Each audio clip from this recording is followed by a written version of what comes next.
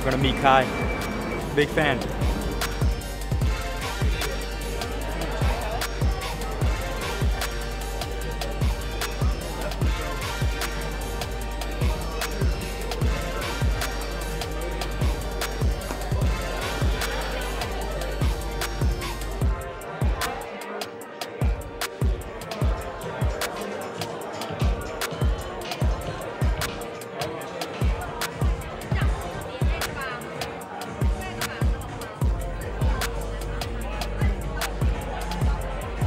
It's my favorite artist right here.